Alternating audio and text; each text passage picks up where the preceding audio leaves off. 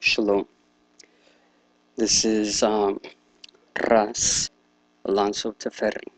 Wendim Alonso Tafari reporting for the Lion of Judah Society. Today's date is Thursday, July 21st, 2016. It's 10:22 a.m. Uh, and I seek to bring forth this study, um, the which we can title "War in Heaven." Now, I don't even think that that's an appropriate title, but it sounds pretty cool. So, War in Heaven. We're going to focus on the book of Exodus, chapter 17, um, from verse 8 onwards. So, you know, um, let us begin. So, we're going to go first to um, Proverbs, chapter 25, verse, let's see, Proverbs, chapter 25, verse 5 Take away the wicked from before the king, and his throne shall be established in righteousness. So there's a throne on earth as it is in heaven, but there's a missing link, a connection that needs to be established the same connection to which I and I personally have no power over, but power is given to whom hath received. And if that is so, then the throne, as is in heaven, is on earth. But something must be done first. The wicked must be taken away. Who is the wicked? I am the wicked. I am Hashaitan. I, Ras Alonso Tafari, first and foremost, before any accusations, I am Hashaitan. I am the principal adversary of the will of the Most High, which is the will to live a, a spiritual life. I am the opponent. I oppose I not creator and knowing this allows us to take one step forward to true growth. So, the wicked must be removed. That scripture has been fulfilled. I testify to the fact that I am wrong. My interpretation of His commandment, of His word, is not acceptable. We have all fallen short. We have not interpreted His word accordingly. Knowing this, then I, I can commence from the beginning, knowing that I am the problem. But knowing that I am the problem, then I have been carefully removed, set aside, thus Christ be in us, and all things shall be created. In the beginning, Genesis chapter 1, verse 1. In the beginning, God created. I don't even remember what it says in English. I mean, um, in the beginning, God created.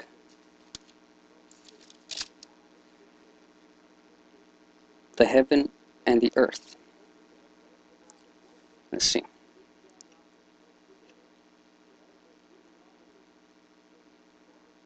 In the beginning, God created heaven and the earth.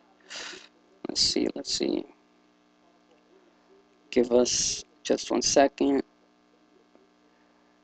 Bereshit. We're trying to open this up. Bereshit. Elohim bara, um, something to that effect. Eight Shemaim, eight Eretz.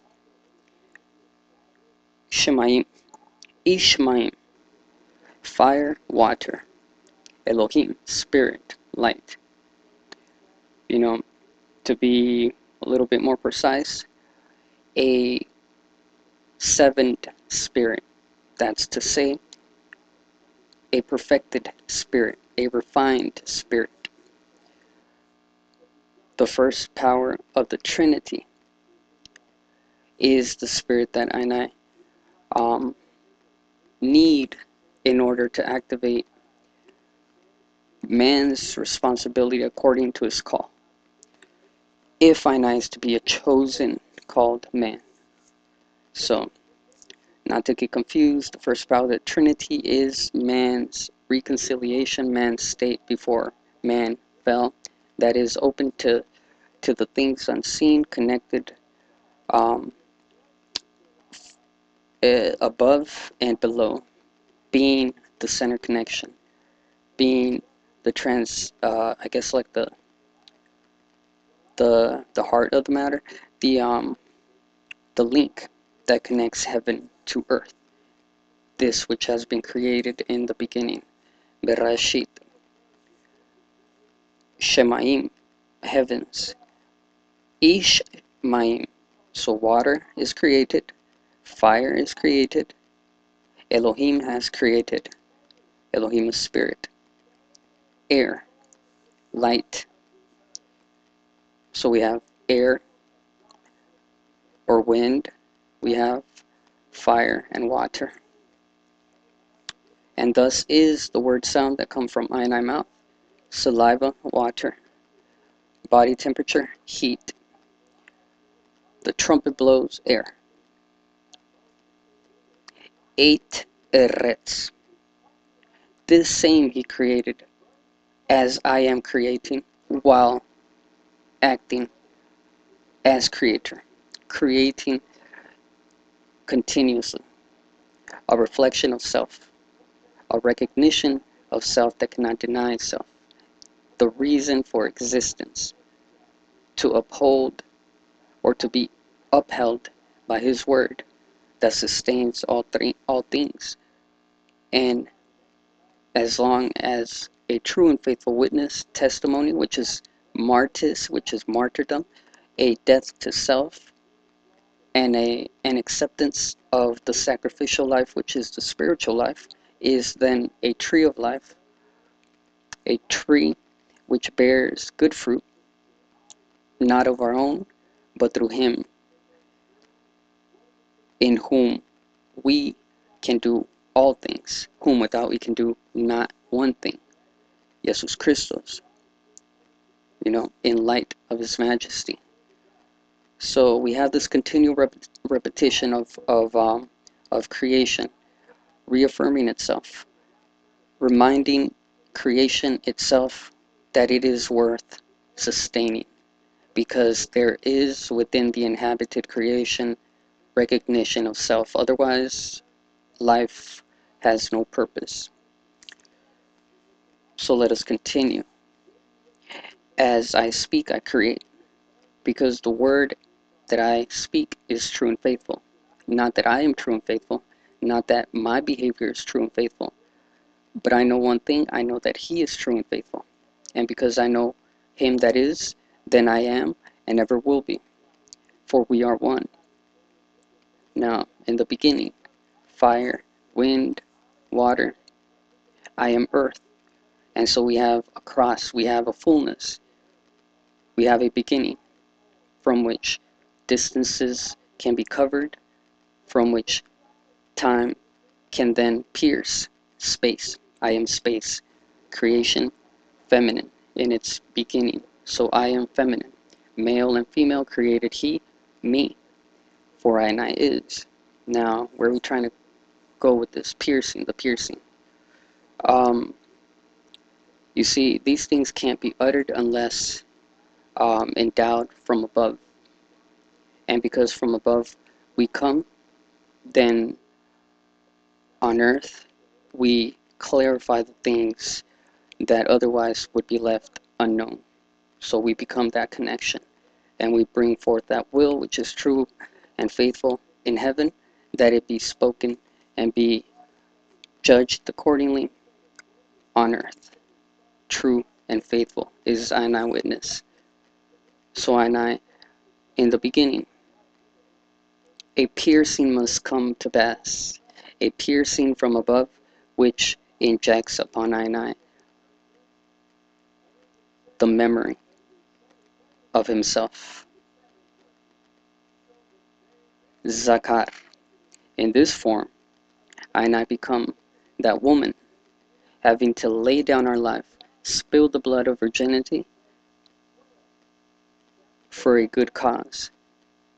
Lay down as a woman, receive ye the Holy Spirit, receive ye his word, and be raised a man, a man chosen to serve, not chosen to be above others, but one chosen that being above others, he may serve being least amongst others. You know, one important um, uh, tool that we can utilize in, in all of our studies is split and flip. This is a good work. What are we eating? We're eating Jah word.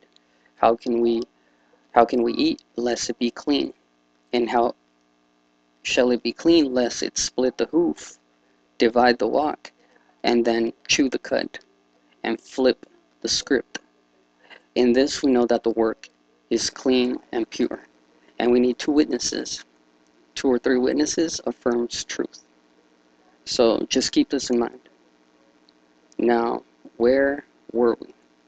So we receive from above as female, then we can act, act as man, because then we would have accepted that there is a possibility in the beginning of a miraculous conception, that there is the possibility that something outside of natural um, deceptions is possible and that I too, as Mariam, can bring forth something spiritual, a child.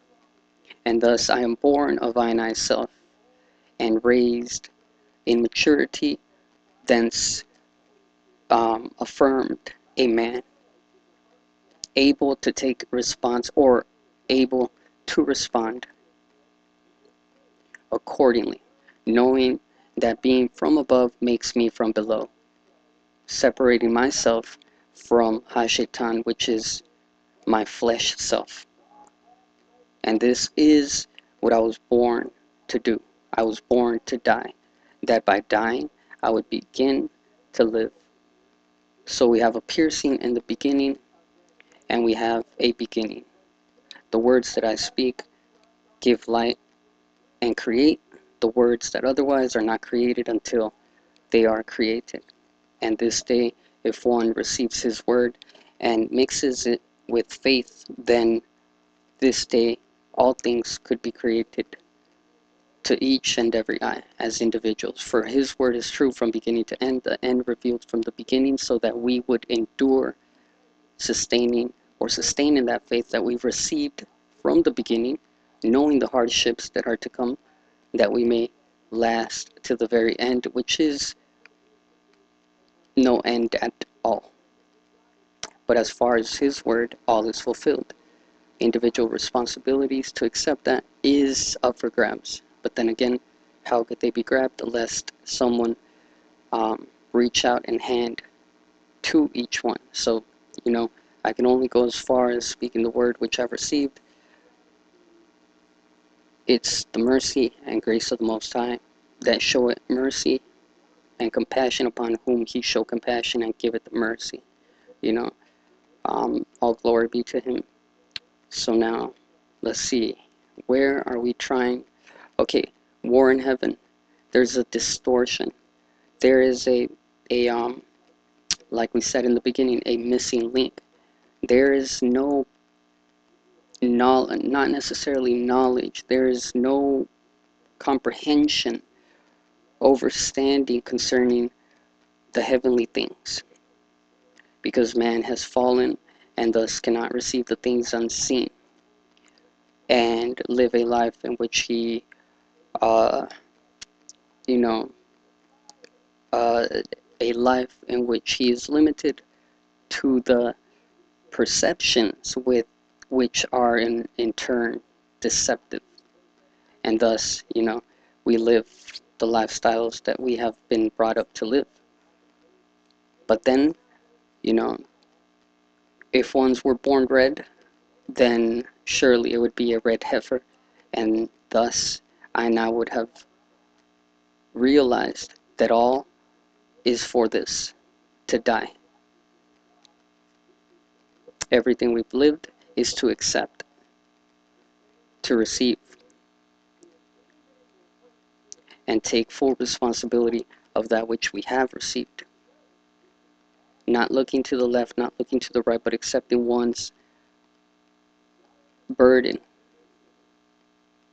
as one's cause to lead to this very moment in which we would overs.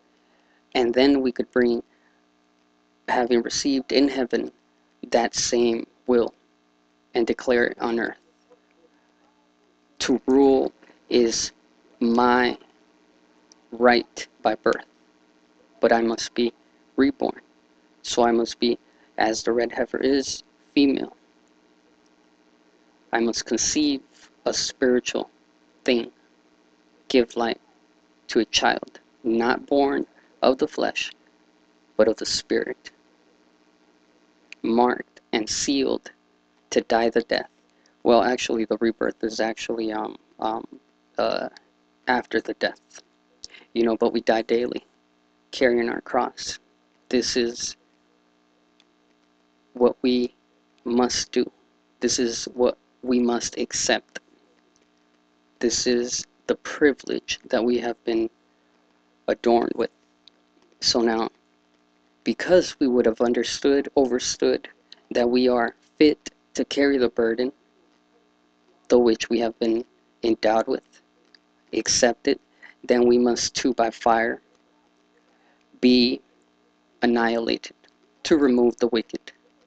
Thus, the throne already established in righteousness. But first, we must remove the self by fire so that we may go to dust from which we came, and we must be um, cleansed with water.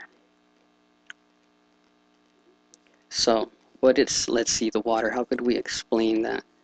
Let's see, let's see, the water, the water, soul, fire, spirit, we must drown with waters to the extent that there is no other alternative but for the soul to seek a spirit that it may rise above the occasion, inherit air, and thus breathe the breath of life. Otherwise, it would be saturated, inundated, you know, as in the beginning, to an abyss of unstable, mixed up moods and attitudes, we could even say. So we must die in soul, we must die in spirit, as the red heifer. if this is granted us, if this is granted us, then no doubt we would have learned the Chukat Torah. I'm going to add to this Hayim. Chukat is an interesting word in that it's an ordinance. It's not just a law. Torah is the instruction. Chukat is an ordinance, an instruction. Hayim, a living instruction, the which wisdom is not separated, or wisdom is the source that illuminates to otherwise any statute, law, or decree. A law is a law, but to comprehend the heavenly will as to how to abide in that law chukat is necessary.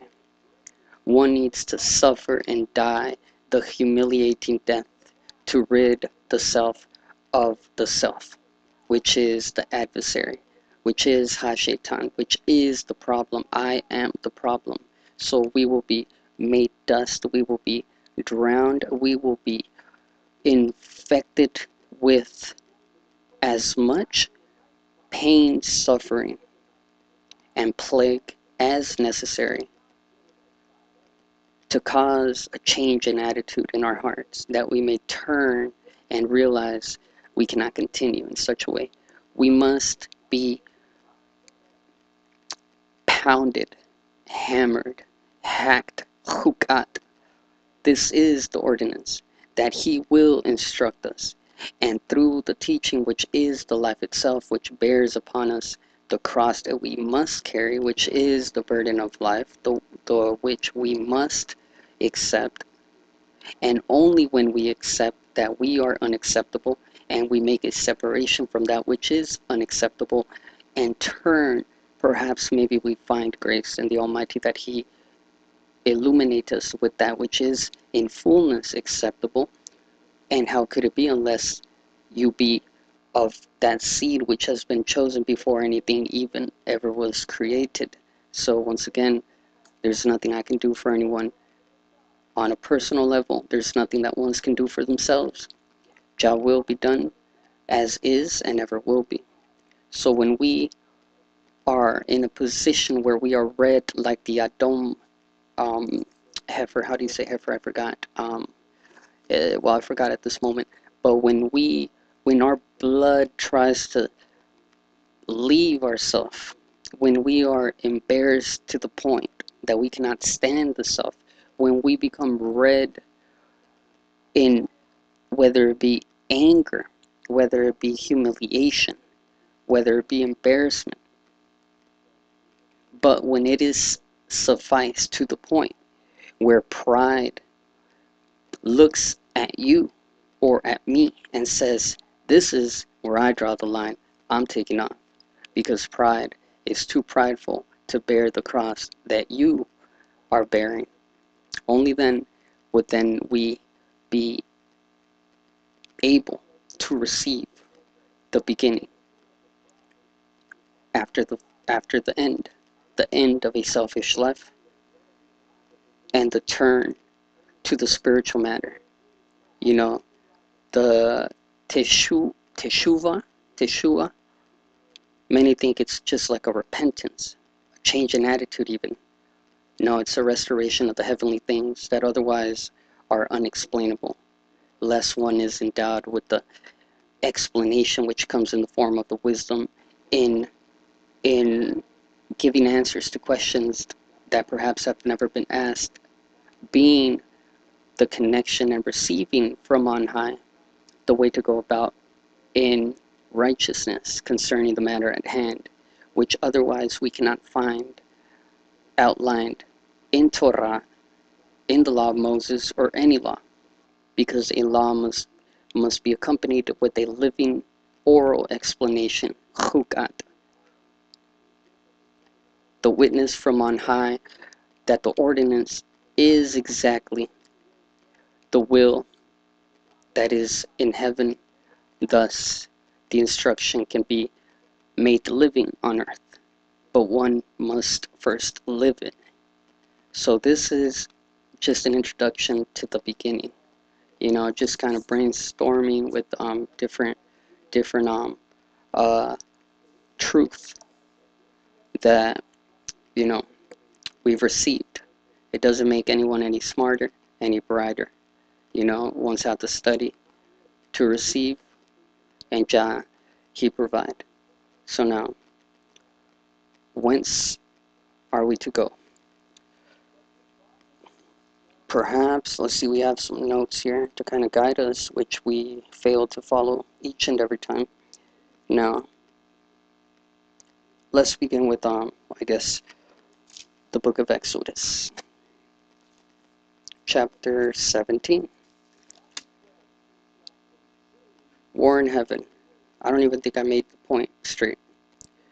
There must be clarity concerning the heavenly matters, so that one can be affirmed on earth because in the beginning there's no separation. It is just a a observation.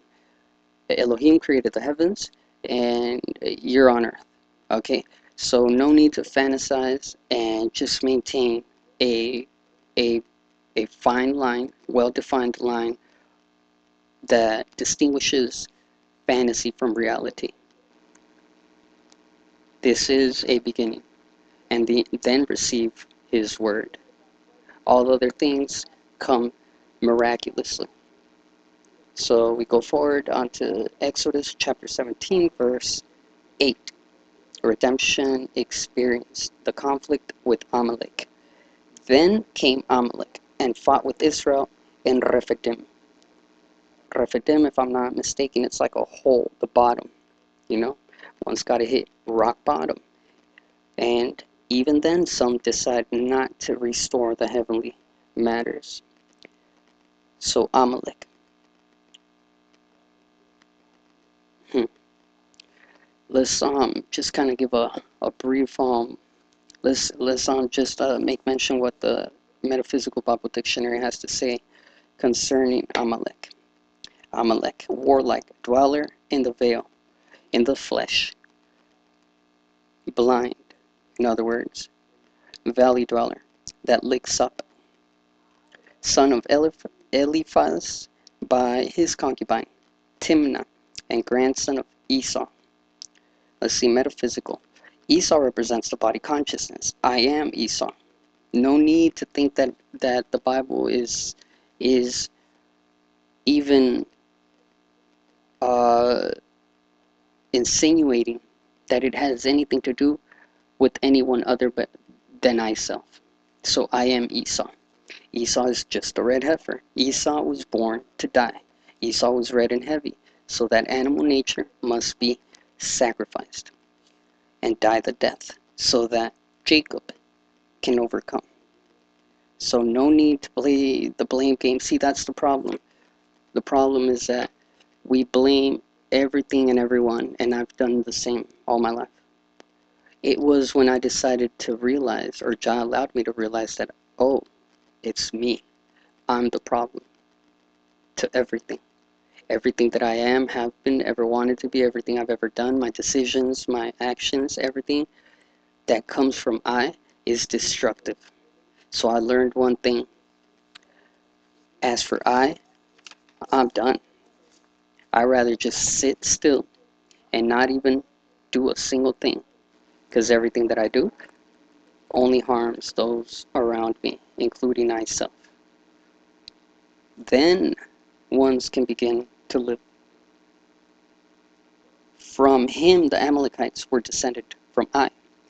Amalek, warlike dweller in the vale that licks up or consumes, signifies lust that base desire which, when established in the animal forces of the subconscious mind of man, is the begetter of destructive, rebellious, perverted appetites and passions. Amalek's father was Eliphaz, meaning God is strength, God is fine gold. Thus, desire at its origin is good and is of God. But when it is misinterpreted by the carnal man, it becomes lust. All right.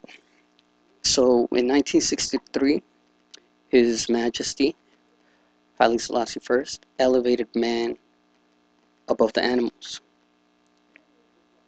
by speaking or or speaking the breath of life to the very words that God has already um, pre-recorded to be spoken by Him that and through all things are made manifest in whom all things are, always have been, ever will be. So man has been raised above the animal and endowed with reason and intelligence. I'll add to that to reason intelligently the ways to overcome simple dispute without having to resort to violence. But man, through the word sound of his majesty, is raised above the animal. The, mis- the interpretation pretends to be good, but we know that it is not, for it is the conflict of the inhabited body. The body by nature desires and is pleased and satisfied by the things that are contrary to the spiritual life. Chocolate cake is good. Torah, not so good, according to the carnal mind. So my interpretation of what to do, how to go about life, would be according to the animal carnal, you know, misinterpretation would be eat chocolate cake, then fall asleep, wake up, and realize the tragedy of my time because I've been asleep. Now, in spirit, Esau is still very much present. I'm still here. So the question arises once more chocolate cake, Torah. I'm still going to pick chocolate chocolate cake because it's appeasing to my to my taste, to my flesh, to the senses which teach confusion and deception. The carnal man or mind or mind, carnal mind, uh, the animal, the serpent, you know, the the serpent um, self, but the lower serpent. Now, but at least I know. At least I'm very conscious, and at least I'm honest. So that is a beginning worth beginning, I would say. A lot of us can't even do that, you know? So, knowing that, if I'm not too sleepy after eating chocolate cake, I will study Torah. But I would not lie, because then I would be worse. So now, the lust. To be content, I and I have learned. To desire is to be in debt, is to owe, is to have failed. To accept is to have obtained.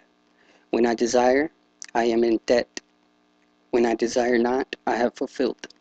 For I have fulfilled the fact that I need nothing, for I am content with that which I have. This is life fulfilled. I am successful because I've, I've achieved my goal in life. Nothing. The minute I desire, I am indebted not only to the life that is required to live in order to bring about that which one desires, but then the cost of the thing desired. I just gotta have this. I just have to get that. I just gotta have my way. No, we don't. We've been given a portion and we must accept it and we must not desire outside of that which has been given for we have all things.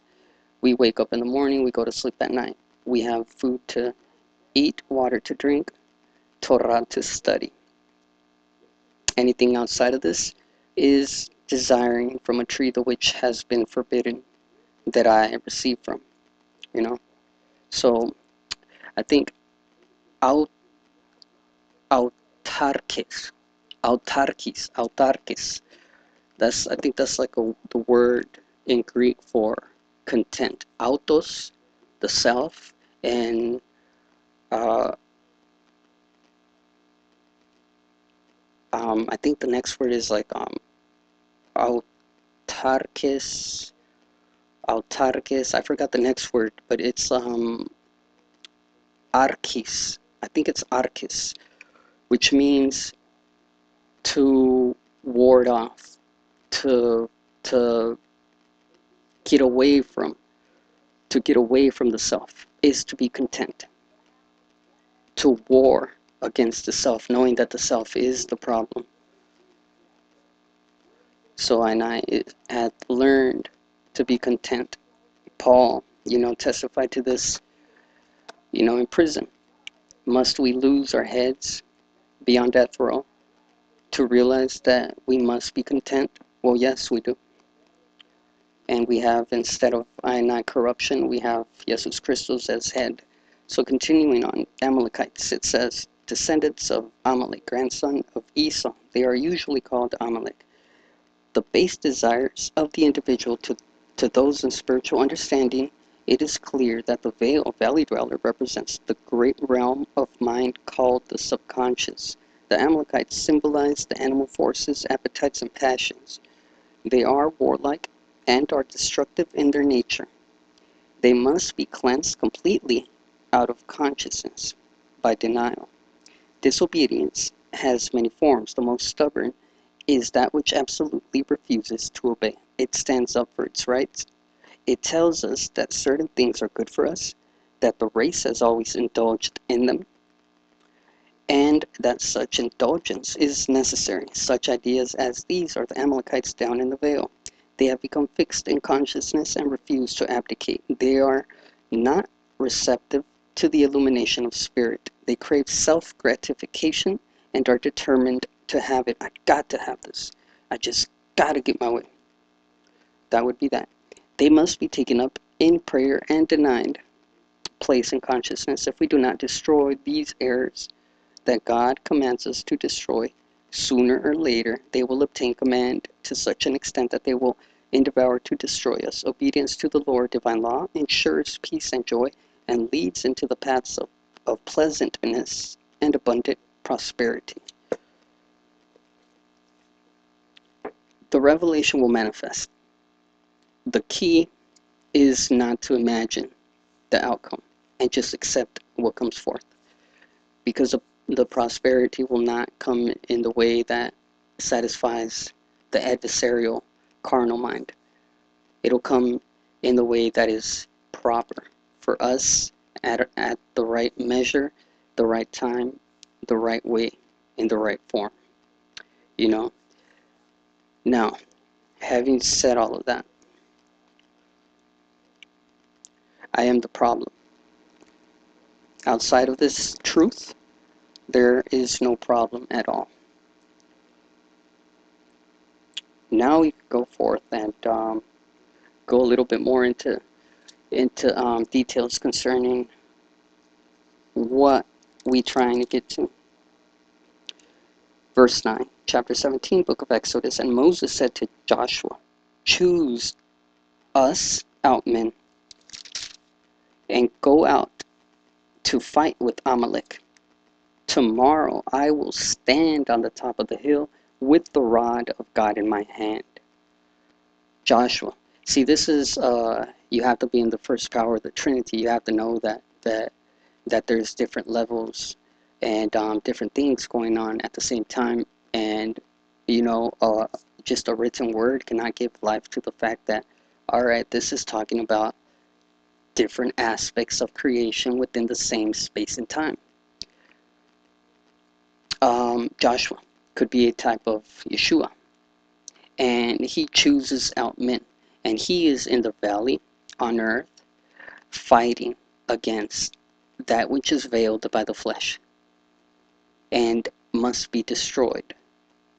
Mean, and, uh, meanwhile, tomorrow, and that tomorrow could be today, if you receive His word and mix it with faith, accepting that it is true today as it is yesterday and ever will be, affirming that what He has affirmed is true and exact. True and faithful witness that He is true. Thus we are true, for He cannot deny Himself, and if I recognize that He is, then I am. I and I is one. Now, Yeshua is fighting on earth um, leading the chosen men, chosen men, able and capable to fight the good fight of faith, while Moses tomorrow shall stand on the hill, on this chosen government, and he will have the rod of God in his hand.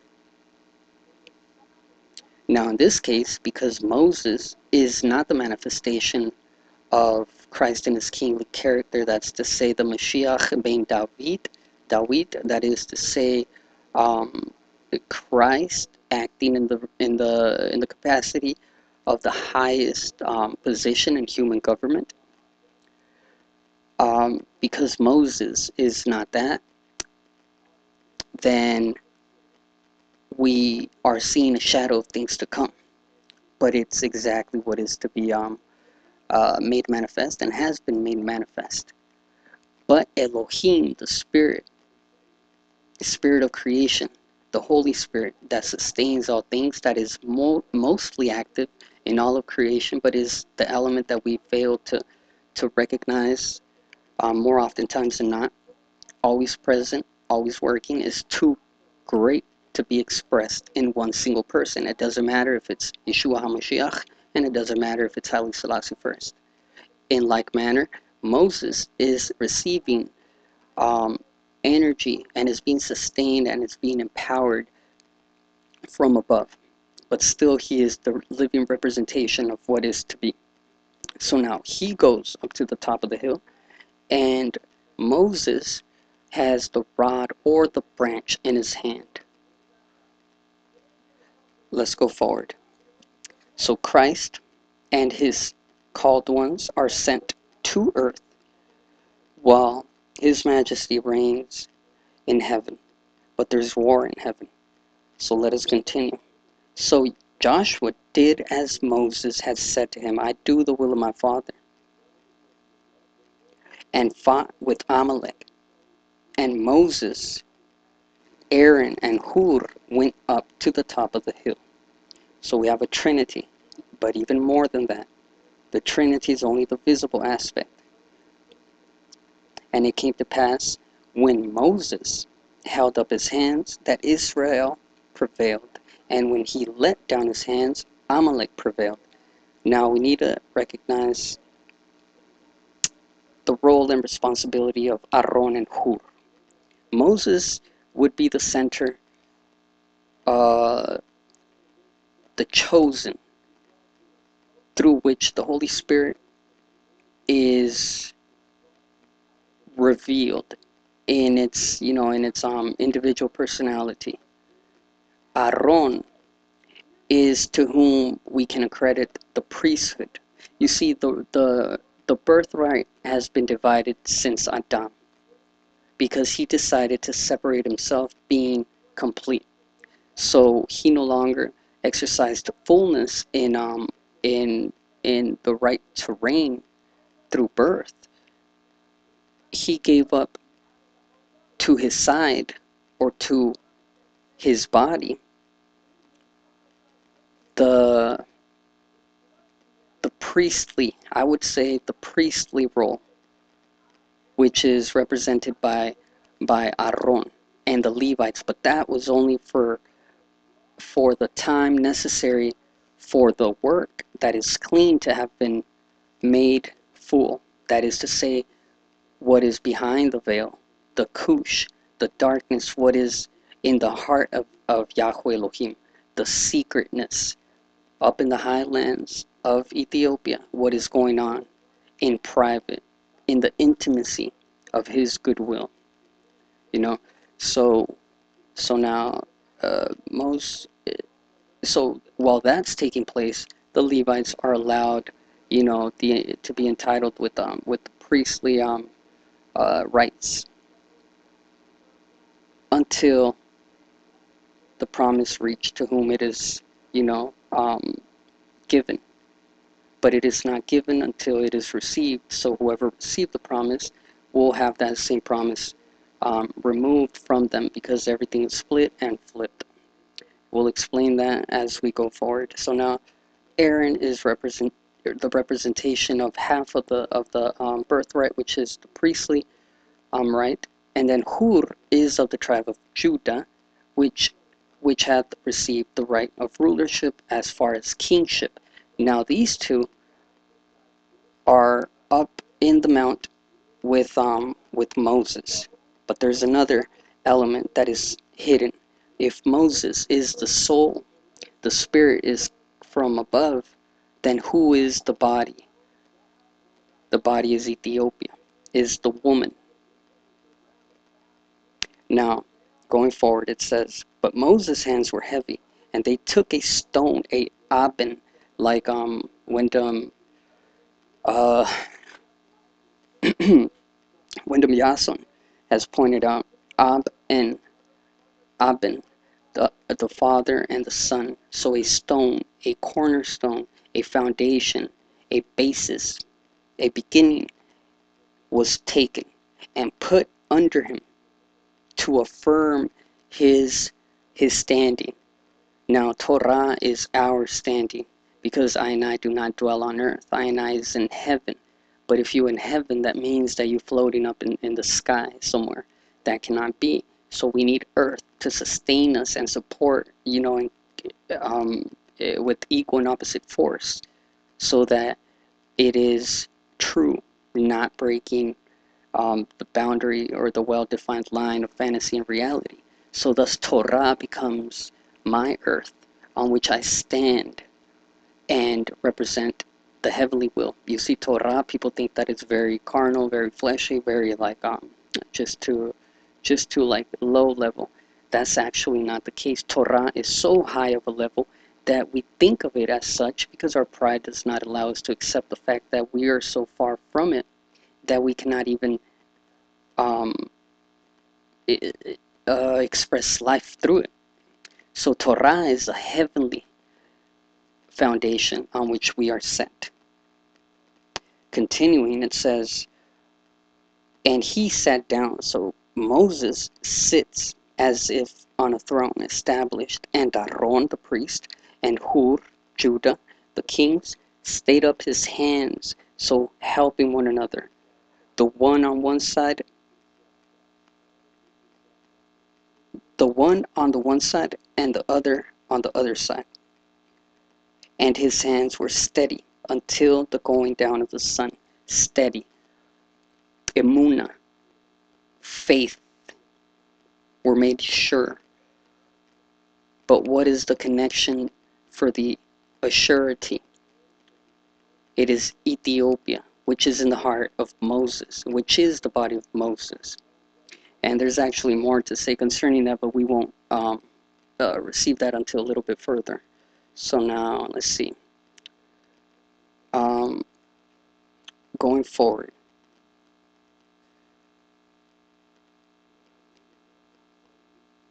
And Joshua discomfited Amalek and his people with the edge of the sword. And the Lord said to Moses, Write this for a memorial and a book, and rehearse it in the ears of Joshua, for I will utterly put out the remembrance of Amalek from under heaven.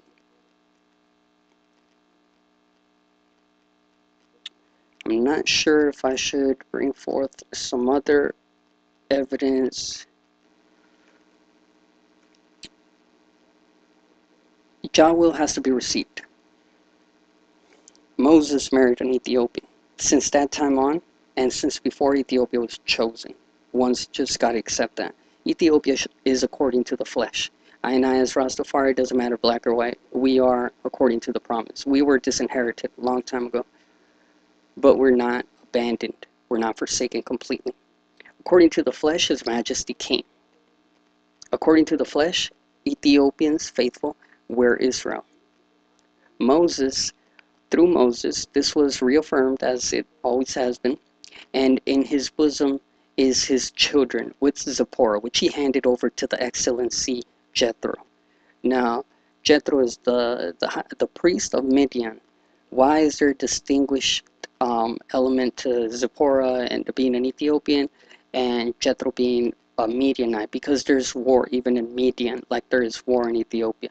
So, um, who is it? In the plains of Moab, the king of Edom, if I'm not mistaken, uh, struck or conquered uh, the Midianites. And since that time, Midianites are not Midianites, but there is a remnant. Moses saved part of that remnant because even they were a remnant. So when Moses um, defends Zipporah and, uh, you know, takes care of the flock of Jethro, he actually defended them and freed them from the downpresser, which were downpressing um, the Midianites. Now, later on, I think Exodus, like chapter 2, it says something like, and, and you know, through the passing of time, Israel cried to the Lord and he did hear us. In the Hebrew, it says it's the H 1992, and I remember because of 1991, you know, and the happenings in, um, in, in Ethiopia when they established a corrupt form of government to rule Ethiopia. Whatever, communism, democracy, republic, it's not the, the, the true and faithful um, form of government. So it doesn't matter. It was a it was a victory for the New World Order, so-called, very old and very not orderly, just confusion. Anyways, so now um, Haim, like Ham, but Haim, they too, like were the Ethiopians, oppressed, and like through Moses, the Ethiopians were saved. Well, later on, we too began to complain, and we too would have received you know, some level of salvation through Moses. Now, continuing, let's see.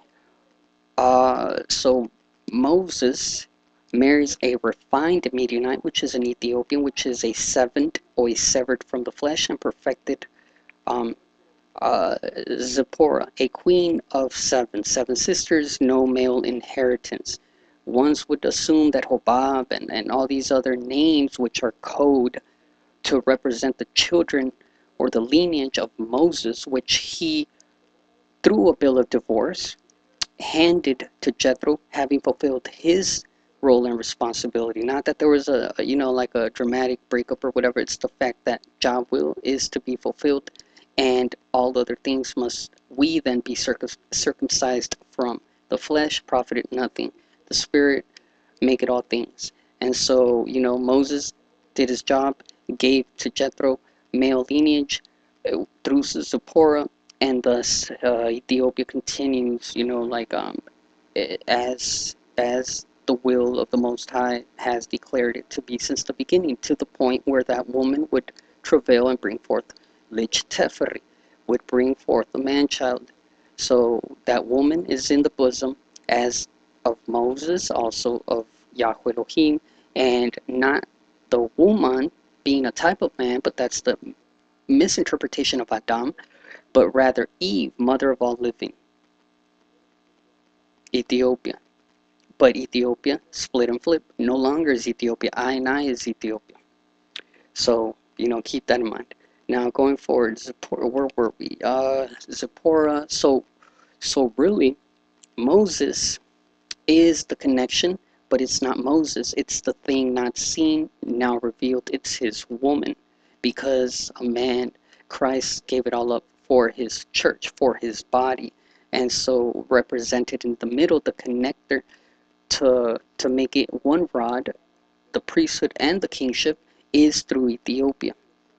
That's the one rod, which is, you know, um, the priest and the kings. Now, in this case, it would be, uh, let's see, it would be Ephraim and Judah to connect that. Judah, we have to accept that is Ethiopia. Now, some of us in, in the in the Americas might be of the tribe of Judah, but you know, symbolically, Judah is in Ethiopia. We would be Ephraim as a collective sense, scattered, you know, in the north country. So Ephraim, you know, there's only two witnesses that that um, participated that were 20 years of age and older in the original Exodus, and these same two witnesses are the only two that came into the, the land of promise because of the spirit that was within them, which was different to contrary to all the other um, Israelites which died in the wilderness. Those two um, witnesses are representations of these rods that must be united. We have, for one part, we have um, Caleb. Caleb is the son of Jephunneh, Jeph- Jephunneh, which is a Kenizzite, which is an Ethiopian. Kenizzite is is um well, Ken, the Kenizzites were were given for possession to Abraham, and uh, you know there's a lot more to it. But Keniz, Kenizzites, in other words, it's it's related to the Ethiopians in particular because the Ethiopians or the Kenites, which I dare say are relatives of Moses, but are not accredited to Moses. But in the book of Chronicles, sec, uh, First Chronicles, it is mentioned that the lineage of Moses are counted for Levites, and they're actually over the the treasures and the Gaza. They're over Gaza. I mean, a whole much a whole bunch to say concerning that. But Caleb, son of Jephunneh, Jephunneh, the um, the Kenizzite